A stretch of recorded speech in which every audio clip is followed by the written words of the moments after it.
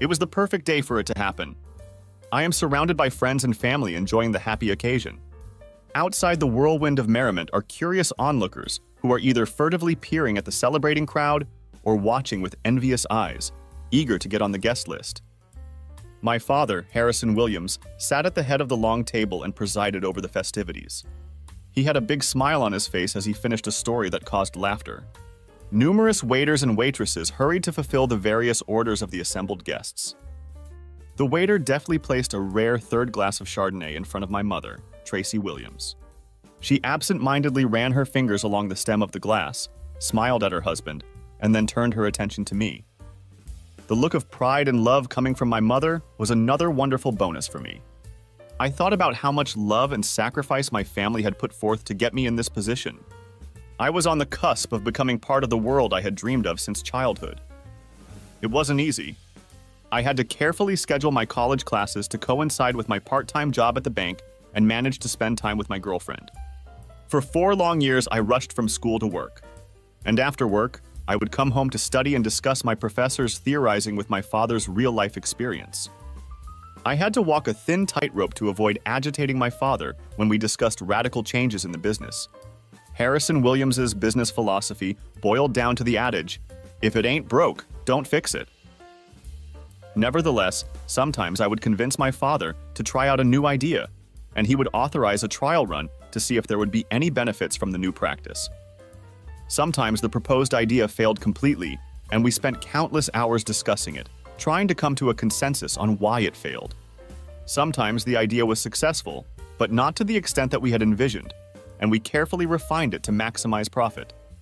And once a new idea was a smashing success, and I had to restrain the urge to say to my father, I told you so. I was also fearless in letting my professors know which ideas passed the test and which ones they should exclude from ivory tower discussions.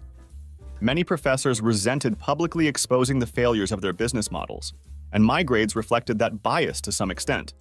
But I felt it was my duty to share my experiences with my students so that they would not make similar mistakes when they made a living. Although my ethical stance prevented me from graduating with honors, I still received my degree which was one of the reasons for the celebration. Now armed with a degree in business, I would join my father to run the family bank that had provided our family's livelihood for six generations. I already had my eye on the girl I expected to help me become the seventh generation. Stacy Bachman sat next to me talking to her mother, who was sitting across the table from Stacy. Stacy and I have known each other our whole lives. We were classmates all through high school. We started dating in our senior year of high school, she followed me to community college, and although our time together was limited due to school and work, she and I continued our relationship. Weekend dates were rare, but still we managed to make it out. I was hell bent on ending the relationship. In that respect, I was a very average American male. Stacy managed to restrain me with comments about wanting to marry a virgin and to divert my lust with the occasional assault. Now, five years into our relationship, the countdown had finally begun. I checked my pants pocket for the hundredth time to make sure my diamond engagement ring box was still there. After she accepted my proposal, Stacy, her friends, and family could start planning the wedding. I decided to take the opportunity to assess Stacy's appearance. Stacy was petite, with dirty blonde hair and boobs that stood out on her thin frame. Kind of like Jennifer Love Hewitt. She had hazel eyes that were eye-catching. Seductive thin lips created a smile on her angular face that could win over any man. She was smart, charming, and engaging. Practically the entire town was ready to welcome her into their family. Of course, some of the potential adopters had lower motives than others. She was the object of many a man's wet dreams and fantasies as they made love to their girlfriends or wives. I continued to watch as Stacy burst out laughing in response to her mother's remark. She unconsciously brushed away a strand of hair that had fallen into her face. I thought about how I was going to reward her now that I was going to start working for my father and get a decent paycheck while he prepared me for management. I anticipated a trip to Hawaii, a Christmas vacation in London, and a three day weekend at the beach for us. And we planned a family. I wanted a son and a daughter, but just as long as the kids were healthy, and that was the main thing. I nudged Stacy to make a small remark, and she smiled at me and gave me a brotherly pat on the shoulder, stepping into the conversation from the other side of her. I was slightly concerned by her carefree attitude, but considered it a result of the entire table celebrating the good fortune of Stacy and I graduating. I was soon involved in a conversation with Stacy's father. Mr. Bachman wanted to know if I was going with a group of men scheduled to go hunting in Alaska. The group was made up of the elite of the town. All the driving forces, whether doctors, lawyers, or businessmen, migrated to this collegiate clique. By inviting me, they made it clear that I was expected to join their ranks. Many of this power elite were present at the dinner table today. They came not only out of a sense of commercial loyalty, but also because of the high esteem in which the Williamses and the Bachmans were held in the community. My father helped many during his career as president of Camden Bank and Trust. My mother worked tirelessly on many community projects to help the less fortunate members of society. The Buckmans did so as well, making significant donations to charitable organizations. Charles Buckman, owner of the family factory, was the wealthiest man in Camden, and he did all of his personal and business banking with the help of my father. Now that Stacy and I are engaged, the two families will join together in a local dynasty. It will be the Camden equivalent of Prince William marrying Kate Middleton. And we'll live happily ever after, I thought, gazing adoringly at my bride-to-be. Charles Buckman rose from the table with a raised glass of wine and waited for the conversation to subside and for everyone to turn their attention to him. I want to thank each and every one of you for coming out today to help us celebrate. It seems like it was just yesterday when Stacy, Troy, and their classmates started school together. For all the crayon drawings that decorated our refrigerator, for all the countless hours spent doing homework, for all the times we attended your school events and cheered you on, Stacy. For making your mom and I the happiest and proudest parents when you became an adult, and I would like to properly express the love and feelings I have for you, my child. He said this with misty eyes, Stacy spontaneously stood up and rushed over to her father to hug him, and the audience broke into applause. I love you and Mommy so much, Daddy, she cried. This brought a new round of applause. Well, baby, let's get to the fun part. As a graduation present, we're giving you a pair of tickets to an all-expenses-paid tour of Europe for the entire summer. Stacy squealed with delight and kissed her dad and mom when they handed her the thick envelope. I started to figure out if I could take that much time off work. It didn't matter if I couldn't. I was sure that Stacy and her lucky girlfriend would be able to enjoy the trip of a lifetime. It would push back our wedding date, but at least I would be able to save up money while Stacy had fun. Deciding it was now or never, I stood up and walked over to Stacy. I dug in my pocket and picked up the jewelry box. I walked over to Stacy, and Mr. and Mrs. Bachman stepped back, graciously giving Stacy and I the center seat. Stacy looked at me perplexed as I stood next to her. I began. I just want to take a moment to thank everyone who came here tonight to help celebrate our graduation from college. And while to Mr. Bachman it may have seemed like yesterday, to me it was like Chinese water torture. This joking remark caused laughter in the audience. But the only thing that made it all tolerable was the wonderful woman standing next to me. In first grade, we drank milk from the same carton, in sixth grade, we were sent to the principal's office together for passing notes, I said with a raised eyebrow, which caused another round of laughter. Eventually, I wised up, I continued, and asked her out on a date at my high school graduation. After that, we both went to college here, and although school and work didn't allow me to see her as often as I would have liked, it made me appreciate her even more. I turned to Stacy and looked into her face. And I really appreciate you, Stacy, I've known for a long time what you mean to me. I've loved you since first grade. I know what you will mean to me for the rest of my life because I intend to say, I love you to you for the rest of my life. Dropping to one knee, I presented the box to her and began to open it. I noticed that Stacy's eyes went wide and she brought her hand up to her open mouth. She was beginning to show signs of hyperventilation. Stacy Ellen Bachman, will you marry me? By now, the restaurant was dead silent, and all eyes were focused on the dramatic scene before them. They held their breath, waiting for what was about to come out at Stacy's shout of approval. I continued to look lovingly at Stacy's face, which reflected the shock of the proposal. Stacy's eyes stared wildly at the table, then at me, then at the table, then at me. As the pregnant pause lasted, an unsettling thought started in my brain. What at first seemed like disbelieving shock now turned to panic. She looked down at the table again, ignoring me kneeling with a two-carat flawless diamond ring outstretched toward her. David! She begged pleadingly and rushed to the front door. The scraping of a chair being hurriedly removed from the table was heard. The disbelieving and shocked onlookers saw someone running after Stacy. The person turned around to look at me as he ran past and chased after Stacy. It was David Porter, my best friend, and the guy I was going to ask to be my best man. The consequences of Stacy and David's actions reached the consciousness of everyone present, and all their attention was on me, kneeling and coming to grips with what was happening. I slowly rose from my knee and began frantically stuffing the jewelry box back into my pocket.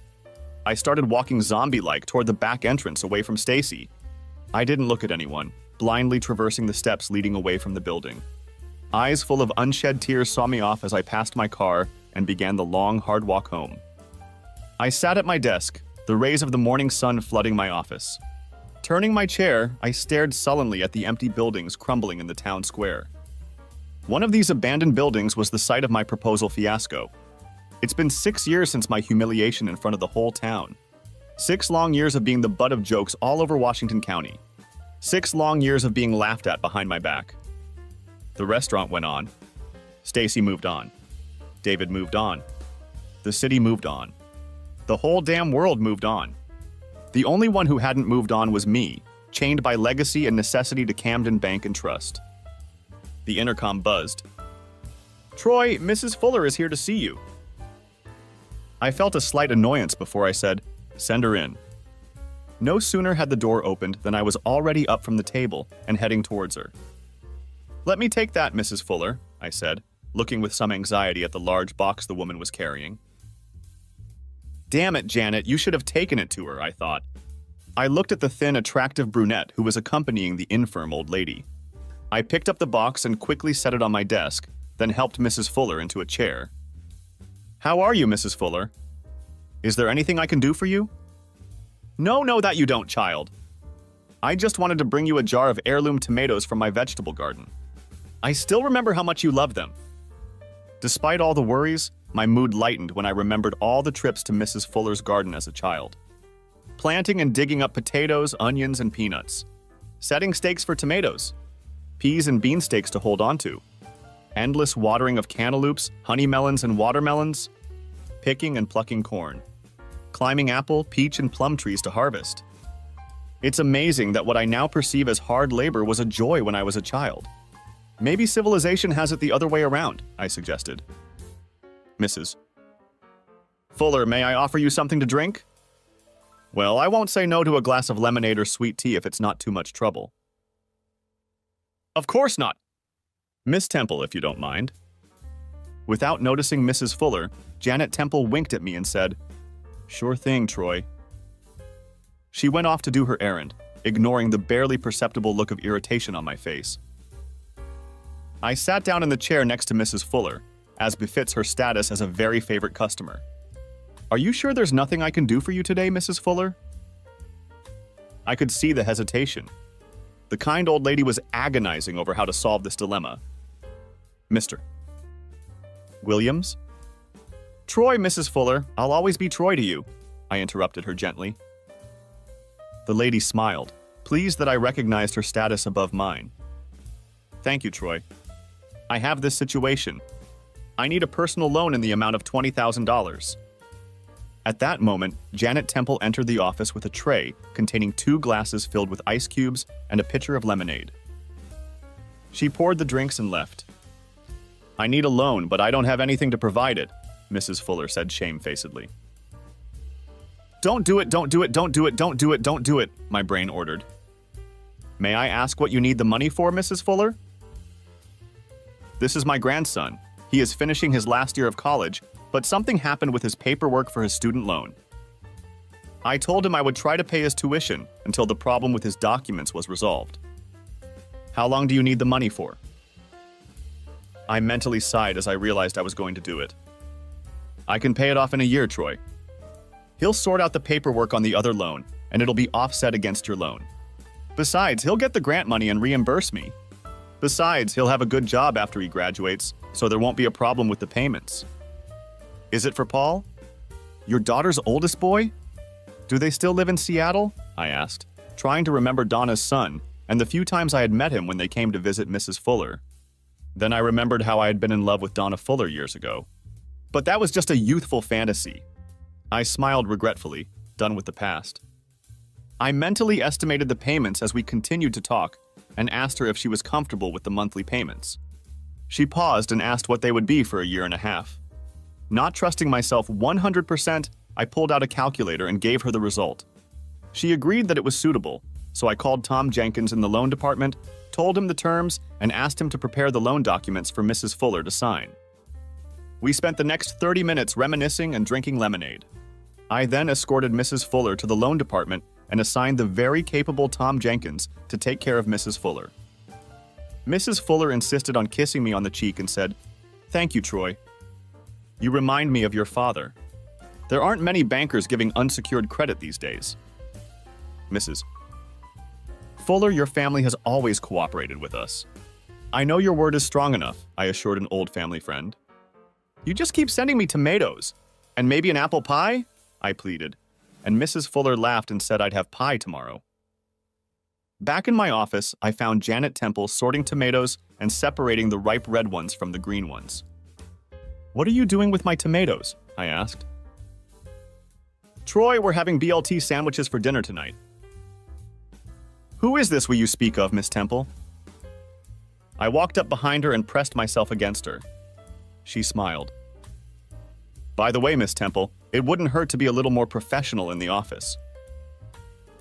Yes, Mr. Williams, she turned to face me and put her arm around my broad shoulders. You gave her an unsecured loan, didn't you? And lowered the interest rate, so we're not actually making anything on this deal. Yes, it is, Janet. That's Miss Temple for you, Troy. She corrected her feckless boss and kissed me again. If you keep falling for every bad luck story, you won't last long in business. If that happens, I'll just take my tomatoes and get a job somewhere. Our tomatoes, Janet corrected, placing her hands on top of mine. My tomatoes, I replied, gently stroking her tits. Ours. Mine. Ours. Mine. A quiet giggle came from my office. Turns out bacon, lettuce, and tomato sandwiches were a daily specialty in my apartment that evening, and the Janet Temple was a coveted dessert. As dawn broke, I woke up and bustled around getting ready for my morning run. Donning my running clothes, I kissed Janet on the top of her head, which made her smile as she stretched and woke up. Why don't you go back to bed and work out here? Don't tempt me. Are you going to shower here or at your place? Why do you ask? Because I don't want to start taking a shower and get under ice water because you've already used it up, I explained. I could wait for you and we could shower together. Janet suggested. I paused. No, she pouted sadly. Well, I guess I better go home and get dressed for work. When are you going to start leaving clothes here already, Janet? I asked. It'll make things easier. Oh, Troy, let's not start that topic again. You go and have a great run, and I'll take a quick shower and I'll see you at work. She kissed me and encouraged me to go for a run while she got ready to clean up. I prepared for my run by doing warm-ups and stretching exercises. I looked around my residence. Not many people can say they live in the same building they work in. Even fewer who live in a three-story bank building that takes up an entire city block. As I do many mornings, I marveled at the Greco-Roman architectural style of granite stone and Doric columns rising majestically at the building's front entrance. My ancestor built the first permanent building in the fledgling city. He made a good study of the effect he wanted to produce.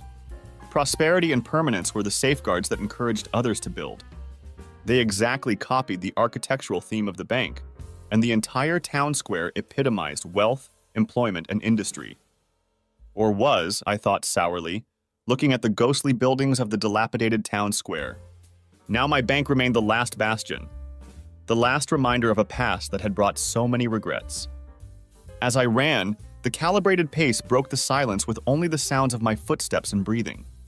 I used this time as silence, a time for reflection and concentration.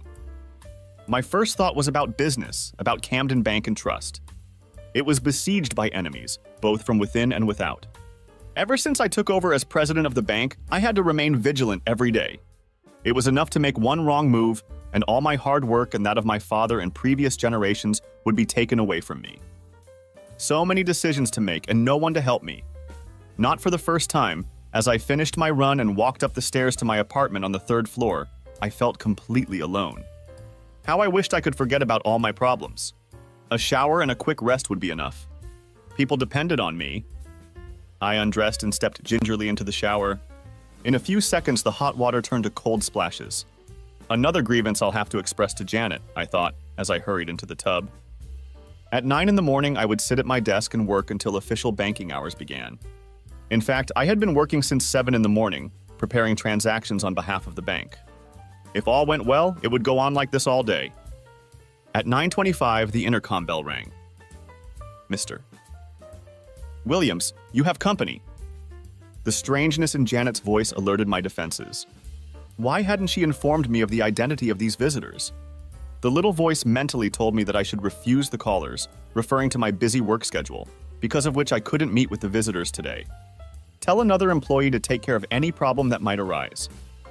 Realizing that I had paused unnecessarily in answering Janet's call, I hesitantly told her to show the visitors into my office. The door opened, and Carla Robbins, Susan Moy, and Stacy Ellen Porter, aka Bachman, entered.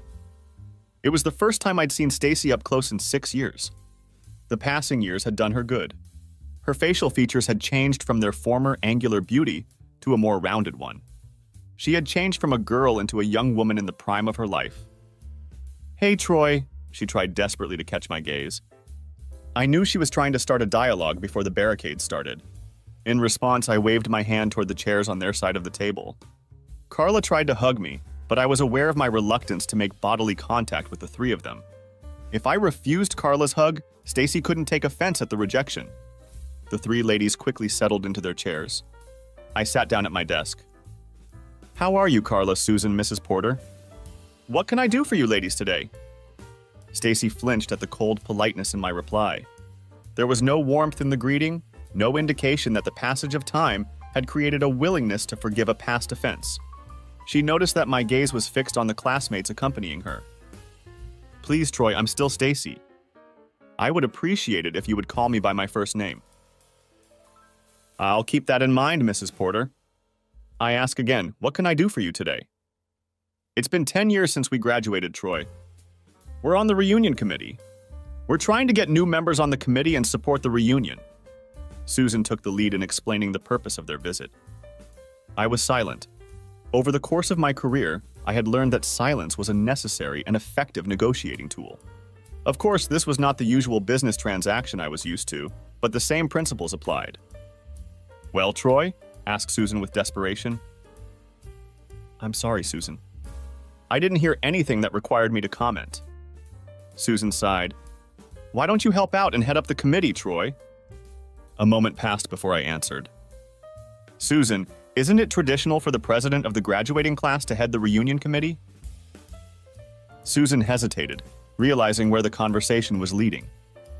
Yes, Troy, but... Refresh my memory, Carla, I turned to the woman I interrupted. Who was our class president? David Porter. That's right, Carla. I think you're talking to the wrong person. David already said he wasn't going to be on the committee, Troy, Stacy explained.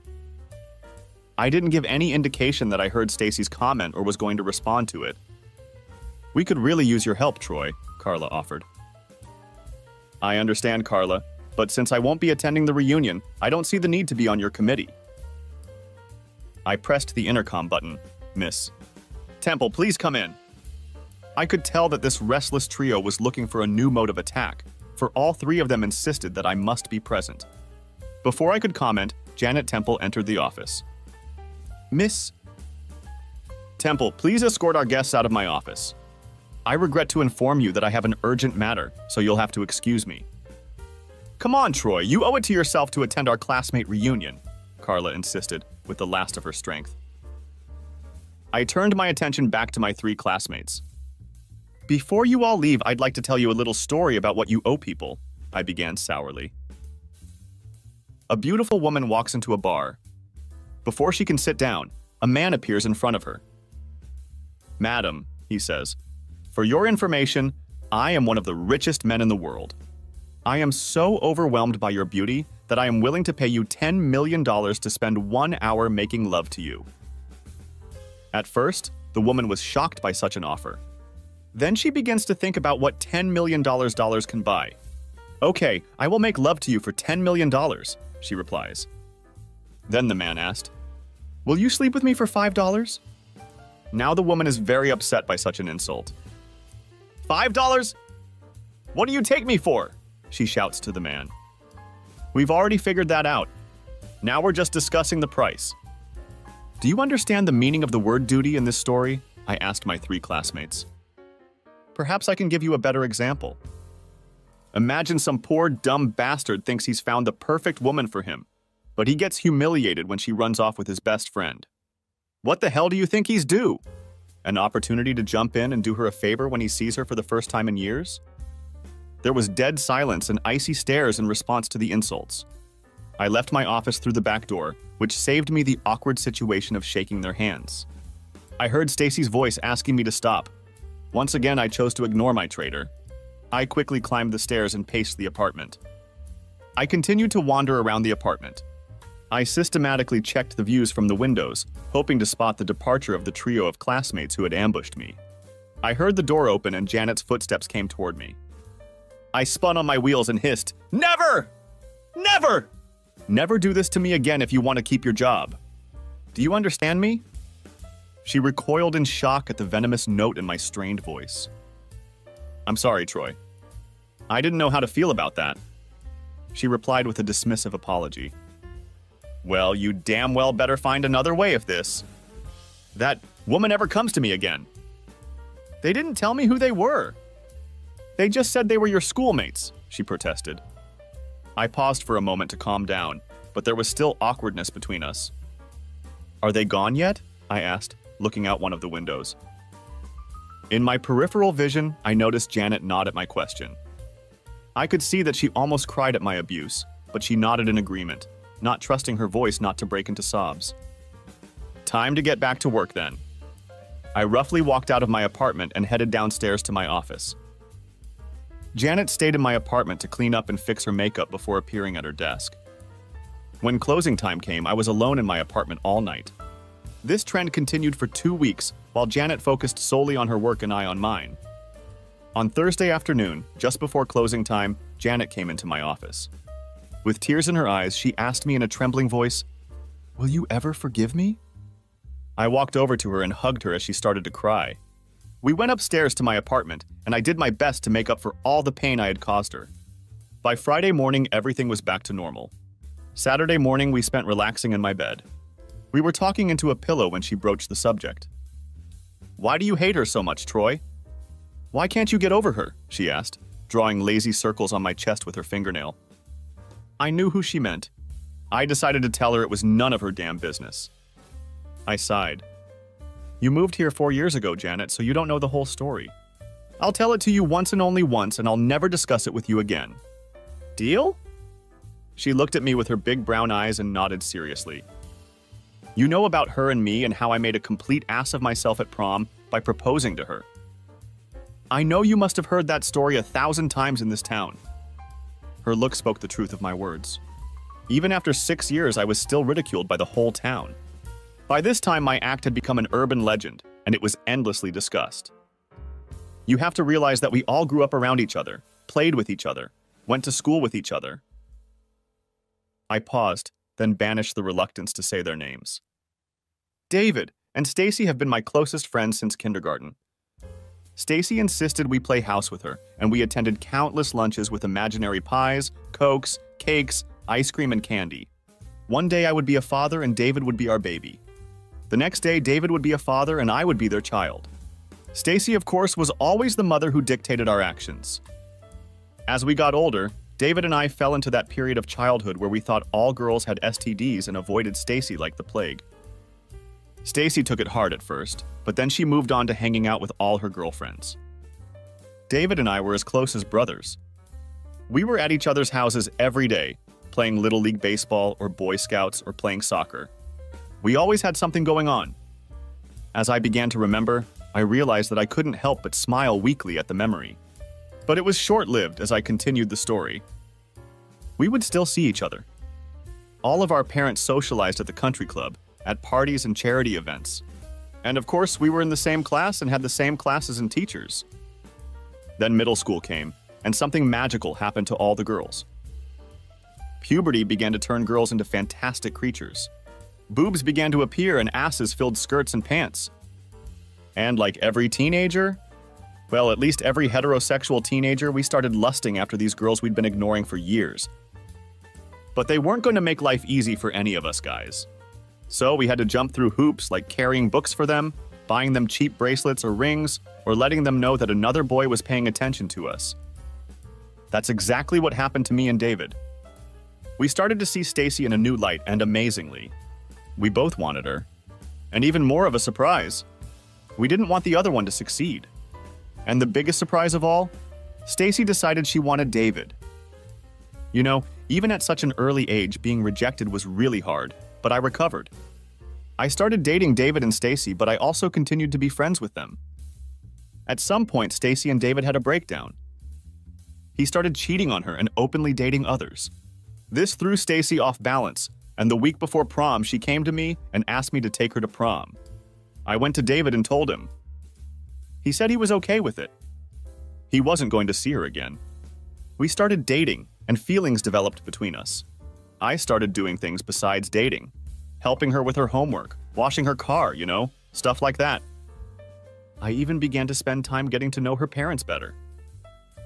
I would go to them and talk them into playing a game of chess and losing to Mr. Bachman, always listening to him lecture about whatever interested him. Usually it was business, especially concerning Bachman's enterprises. He was constantly throwing out derogatory phrases like, in business, the big ones eat the little ones or do unto others before they do unto you. I just sat and listened about the world according to Charles Bachman, hoping to impress him. College came and Stacy knew I was determined to prepare for our future. We had talked about getting engaged and getting married a long time ago. She knew I would be ready as soon as we graduated from college. So it wasn't a lightning bolt that came out of the blue. She knew. We talked about the kids and everything she should have expected. I grudgingly picked at my words to make verbal sense of a situation I still couldn't explain, much less understand. She even picked out that damn ring. I commented, looking at Janet in hopes that it made sense. Janet nodded and patted my arm to let me know she understood. Gathering my courage, I continued. I don't know when David came back on the scene. I had no idea she and David were dating. If she had told me, maybe I wouldn't be here today. Maybe none of this would have happened. But I continued to see her every day at school and see her every weekend, and I didn't have the slightest idea that anything was wrong. So here I am in front of the whole world getting a kick out of it, everyone laughing at me and discussing Stacy and David's little Romeo and Juliet style romance. I never really thought about how Stacy felt, but it was enough for me that Stacy decided to take it with her to Europe, giving it to her parents as a graduation present. She runs away with him. They go to London, to Paris, to Rome, to Athens, and I stay in Camden with my heart ripped out of my body. Every fucking day I have to be manly, go to my job, and pretend no one knows what happened to me. Stacy and David returned home and had a whirlwind wedding to dispel rumors of their European affair. Afterward, they were driven out of state until the uproar subsided. Stacy and David were hired by one of Charles Bachman's subsidiaries in California until all the hoopla subsided. In the meantime, Charles Bachman is mad as hell at me for putting his daughter and his family in a situation of public ridicule. My little performance had far reaching consequences. The town was divided on who was to blame for this fiasco. Unfortunately, Charles Bachman wasn't going to stand by and let people defame his little girl.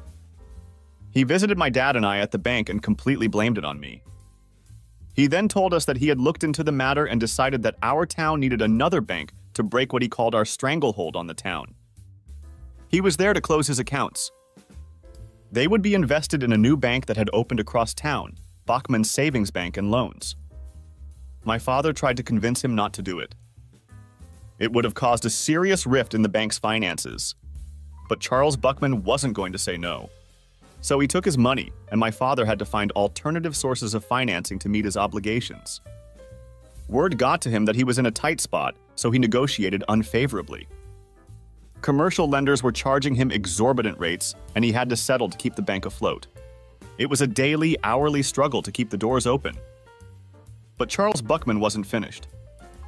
All Buckman's industry employees' paychecks were written to Buckman's savings and loans accounts, and all employees were forced to open accounts at Buckman's for direct deposits, debit, and credit cards. Then there were auto and home loans at rates my father would not have been able to meet because of the problems we were facing. Customers were leaving in droves. Buckman's ATMs flooded the neighborhood as small businessmen were persuaded to trade our machines for theirs. Basically, he had us in a vice and he wasn't going to give up. He told all the local entrepreneurs that they had better move to his place on the other side of town. They did, which is what led to the urban blackness in the town square. This led to a decline in bank traffic, and that meant we kept losing money. I fought side by side with my father every day, trying to atone for my mistake that had led to all this trouble. I convinced my father to give me access to some of the dwindling funds for stock market trading and arbitrage trades to stop the bleeding. Fortunately, I was successful in that endeavor. But we continued to make losses. My father was the president of the bank, but because of generational change, he had relatives to whom he reported to, and they started making a fuss that because of my father's management, they were losing money. Lawsuits started being filed by second and third cousins wanting to gain an advantage and wrest control of the bank from my father. He kept getting up and fighting every day. I was right by his side. But the stress was too much for my mother. Charles Bachman succeeded in getting us to lose our country club membership. Mother lost her positions in all the charitable organizations. She was ostracized by the whole town. My mother, who never hurt anyone, was torn apart by every bitch in this town. Her blood pressure spiked, and the day came when my dad was called to the hospital. My mom had suffered a stroke. After that, he was never the same again. He handed over the day to day work of the bank to me, and he took care of my mom. I would come home and watch him take care of my mom. When he had free time, then and only then would he discuss the bank. She lasted two months before she passed away. After that, my father became the epitome of the walking dead. Three weeks after she died, he had a heart attack. I had lost everything I held dear in less than a year, and now I was given the responsibility of running the bank. I was not sufficiently prepared for this responsibility, but now it has been given to me. I was looking for every penny I could find. And there were a lot of people who wanted to see me collapse, except Charles Bachman, to take the bank's assets. I was under tremendous pressure. The situation was so desperate that at one point I had to sell my parents' house and my house to support myself in some way. Then I moved into the bank building. All of our tenants moved into the Buckman's building, so I had the space available. I converted the space to a kitchen and bathroom, but everything else is just open space. I had to turn off the boiler in the building to save on electricity. That's why I can't take a hot shower the source of hot water for the whole building is a regular domestic water heater. Now you know why I live here, in an empty cave with marble tiles and insufficient hot water. As for the day-to-day struggles of the bank, you have an idea of what I went through. From the first days of my assumption of office, I tried to keep the bank afloat. I had to resort to speculating in risky currency arbitrage and betting on minute-by-minute market fluctuations. At the same time, I knew that if anyone found out about the bank's vulnerable position, they could cut us off at the knees. I've had to offer loans to risky businesses that no banking institution would touch. And you know about the ledgers, how I present false figures to show that the bank is safe. But in fact, the real accounts show how much trouble I'm in. If they fall into the hands of the auditors, I'll be finished and I'll end up in jail. That's why the Soren oil venture is so important to me. As you know, I've been working on this deal every day for the last two years. If I can pull it off, I'll be solvent again. I'll be able to pay off the bank and my creditors and stop robbing Peter to pay off Paul. I'll be able to keep legitimate books and not worry about my head ending up on the cutting board. Information is knowledge, Janet. That's why I have all these folders in my desk drawers. I have to stay ahead of whatever Charles Bachman is trying to do to end me. You think I like keeping confidential files on him, Stacy and David? I have to do it to make sure I cover all the bases. Think about it. I have to keep tabs on the woman who broke my heart. I have to keep tabs on my once best friend. And I hate it. I fucking hate it, but I have to do it. I finally paused, amazed at myself for finally broaching the subject with someone, and at the psychological release I felt after the confession. Janet looked at me with gratitude for opening up and trusting her. But Troy, she said, are you sure you can pull off this deal with Sorrent Oil? Aren't you afraid of dealing with a Siberian oil field? Janet, as I have explained to you, my French acquaintances have done everything possible to make this a reality. Once the oil wells penetrate the field, the oil will be refined at a refinery to be built on the coast of the Bering Sea. From there, tankers will take the oil to ports on the west coast of the United States and unload it. The time difference and distance from Middle Eastern supplies will make it extremely favorable. It will be as close to the truth as it has ever been. The only downside is that a lot of players are starting to get interested in it. It's unavoidable. You can never achieve complete secrecy. Sorrent Oil's share price has been skyrocketing lately, so someone knows what it has in store. But I'm close to getting a controlling interest, and once I do, I can dictate terms and success will be assured. I just have to stay in the game no matter how high the stock goes, I explained. Then I can be free of the Buckmans. I can buy out the rest of my pissed off relatives, end all the litigation, put the bank on solid ground. And I can finally let David and Stacy go and start living my life again. I'm ready, Janet. I'm ready to commit to someone and live out the rest of my days. When I looked directly at her, she realized exactly what I was implying. Her eyes widened and she caught her breath. The concept of time disappeared. The notion of anxiety was set aside. All that mattered was the primal need to connect with another being. Only for these fleeting moments could I forget everything in the world. So I tried to cherish them. It was already noon when we finally got out of bed, showered, and dressed. She told me she had to go to her mom's house for a sleepover. We arranged to meet on Sunday night. I spent some time texting some overseas friends online and then decided to go for an afternoon run. As soon as I went outside to do my warm up and stretching, I saw her leaning against my battered pickup truck. As much as I wanted to avoid a confrontation, I decided it was best to go ahead and get it over with. As I approached, she got up from my truck. Didn't think you'd be out today, Troy, she remarked. What would you have done if I hadn't? I asked. I'd go back tomorrow and wait. What if I don't show up tomorrow?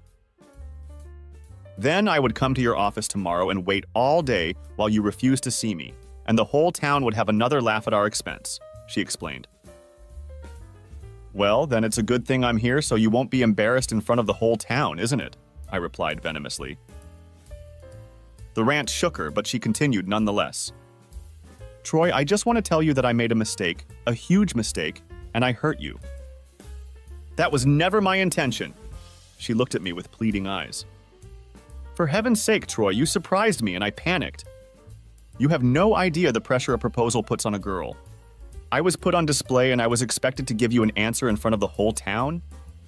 I interrupted. No, Stacy, you're not getting off that easy. We've had all these discussions. You even showed me what kind of ring you wanted. So don't just stand there and tell me how I surprised and embarrassed you. I wasn't the one who ran out the door. David Porter chased me, I growled back. Yeah, Troy, I ran and David ran after me and we turned out to be cowards and ran off to Europe together. But I was coming to my senses when I finally realized how screwed up I was. I went to my dad and told him I was coming back to you because I love you. He became furious and told me that I had already made him a laughing stock and that I would not be allowed to repeat that mistake by returning to you. He told me how he had publicly ended all personal and business dealings with your family and would not allow me to make a fool of him again. The next thing I knew, I was married to David and banished across the country until my father saw fit for us to return. My marriage was a mistake, Troy. David never loved me. He just liked the idea of being Charles Bachman's son in law. He just thought it was some colossal joke to sneak up behind your back and play me. And after that night, he felt pressure to help me. But he never loved me, Troy. Otherwise, he wouldn't be chasing other women night after night. That's if he can get away from my father. David plays some huge psychological role in my dad's life because he has a son. And my dad absorbs everything and nothing is too good for his son David, she remarked wryly. Stacy closed her eyes and said, If I could somehow spare you this pain, I would. My act cost me the best friend I've ever had, and I'll never get him back. It cost me the man I loved most in the world. Even though I forced myself to remain cold and detached, inwardly I reacted. I'd known this woman for most of my life. Surely she knew what buttons to push. Therefore, to protect myself, I had to respond harshly and push her out of my life. Yes, Stacy, you can take the pain away from me. Just tell me how I get over losing you? Tell me how I survived losing both of my parents in the same month? Tell me how I survived day after day despite your father and your husband's attempts to destroy me? Tell me how I survived being an outcast in society, being kicked out of the country club and all social organizations? Tell me how I can sleep normally without waking up from the nightmares you've given me. The fierce questioning at a rapid pace threw Stacy back and I saw tears come to her eyes. I knew I had to escape or be forever damned in my desire to possess her. Now, if you'll excuse me, I'll go for a run and forget about you again. Barely containing herself, she nodded, and I turned away from her and began to prepare for my first step. I almost tripped when she sobbed, Okay, Troy, I made an effort and now I'm going to live with the consequences. One last thing, I'd like you to reconsider your decision not to go to the reunion tonight. You still have plenty of friends among our classmates who would love to see you. And for those who don't, your presence will prove that you are not a coward. I pretended I hadn't heard her last remark and began my run. The last untainted thing in my life, the zen of running, was now absent, and I had barely gone a mile before I stopped on a bench in a city park and, hidden from view, began to cry. I began to realize that if I lived to be a hundred years old, Stacy would still haunt me. I stayed there for the rest of the day, trying to decide what to do. I looked up at the imposing country club building Nothing symbolized the exclusivity of the entire city like it. Only the rich and powerful were admitted here. The rest of us were forbidden entry. But on special occasions, such as high school reunions, minorities, the oppressed, the downtrodden who had never had their standing, were given a brief glimpse into a way of life they would never know. I walked past a few classmates admiring the splendor of the surroundings and nodded to them. Even though I had been banished from this view six years ago, it no longer held my interest down an immaculate hallway with plush carpeting, decorative vases, landscape paintings, all the trappings of grandeur leading to the banquet room. At the entrance was the obligatory table emblazoned with the Camden High Tigers logo. Behind it sat my classmate Susan Moi, whom I'd last seen in my office, trying to talk me into working the reunion. Her eyes widened at my approach. Troy Williams, I announced to her, as if I had to remind her who I was. I didn't check in, so I guess I'll have to pay a late fee, won't I, Susan? Taking the money from me, she said embarrassedly, It'll only take a minute, Troy. She started typing rapidly on the laptop. I stood aside while Susan worked with the other classmates who had pre-registered. They were given name badges with a picture of the graduates and their past accomplishments. They were then handed gift bags and allowed to proceed to the banquet hall.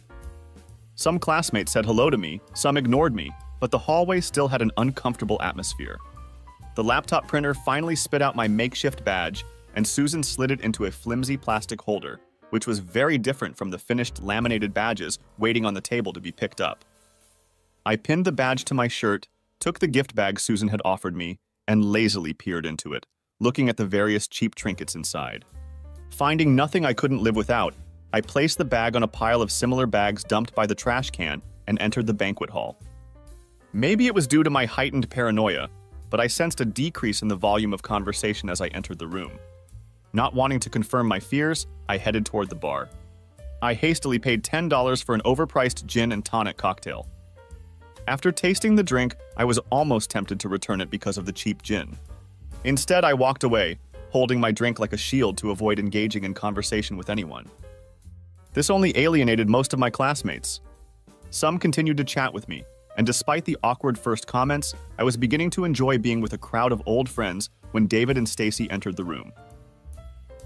David was dressed in a business suit to distinguish himself from the others. For this evening, a casual form of dress was chosen.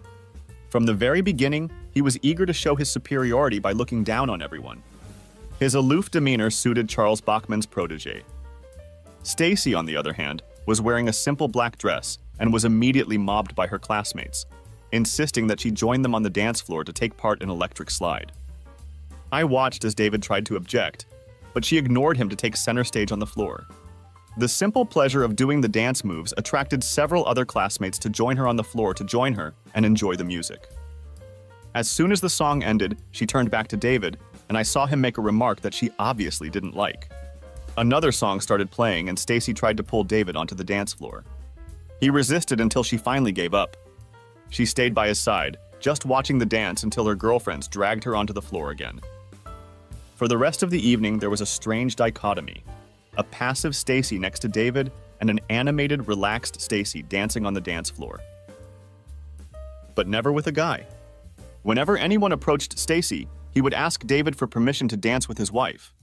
He always stubbornly objected until the guy left. As the dance went on, Stacy became increasingly embarrassed by his behavior. With each refusal from David, the argument became more explicit and more insistent.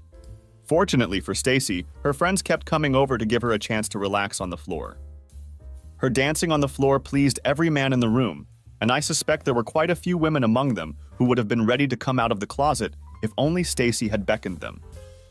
Still, she faithfully returned to David after each dance, her face reflecting her growing displeasure. She begged him to dance with her, but apparently the titans of industry are not allowed to have fun. Their irritation became more and more apparent, and there were fewer and fewer people willing to dance with Stacy as they were afraid of escalating the argument. At that moment, Stacy looked down at the floor and caught my gaze.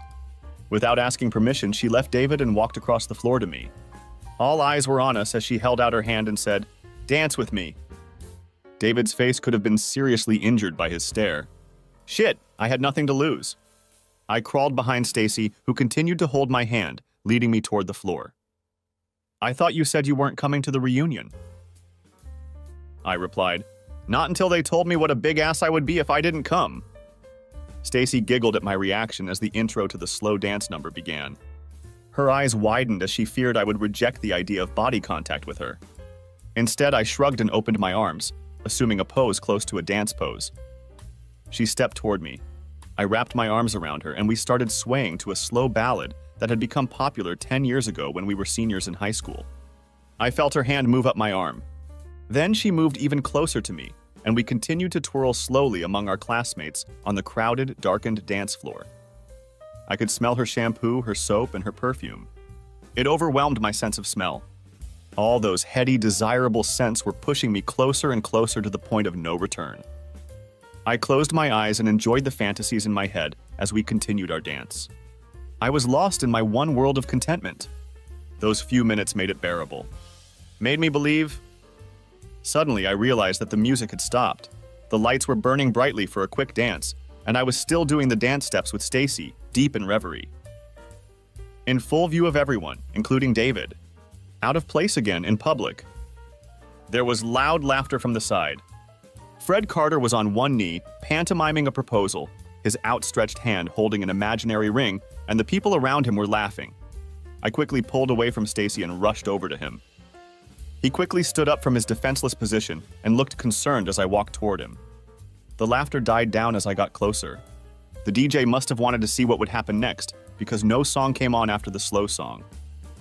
Fred Carter, now co-owner of the Ford dealership in town with his father, my classmate, the guy I played on the high school soccer team with turned pale, anticipating me beating the crap out of him in front of his wife, our friends, and classmates. He even flinched when I stopped next to him.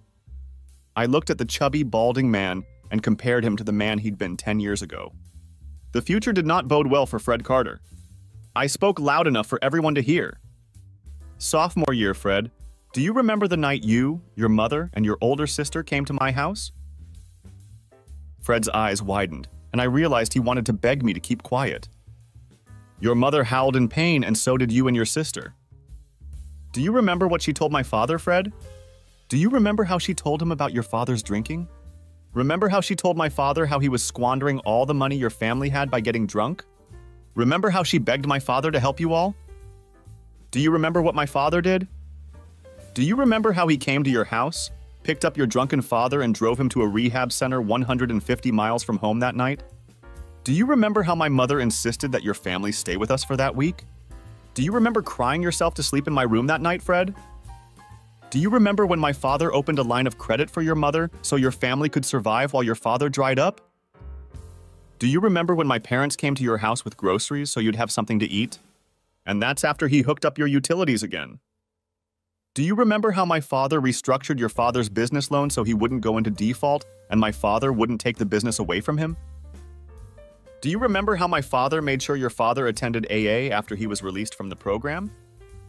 Remember when you and your father came back one night and swore that you would do anything for us as a token of eternal gratitude? Remember the day your heartless father sent you to withdraw money from the Buckman's accounts? Do you remember how ashamed you felt for such treachery? Remember how my father treated you with dignity and respect? Remember that the next time you decide to insult me, you son of a bitch, I said bitterly. I looked around the crowd. I see at least eight other people here tonight who would have a similar story to tell. But I'm going to let you all go because honestly, none of you are worth the trouble. I ventured, looking at them with blazing eyes. No one could catch my gaze. I turned and walked toward the exit. At least no one would ever forget our 10th reunion. Walking quickly across the parking lot, I heard the tempo of high heels clacking three times behind each step I took in an attempt to catch up with me. I didn't need to explain who was chasing me. The continuation of this story will be on your screen or in the description below the video. Thanks for watching, I hope you enjoyed it. Subscribe to the channel.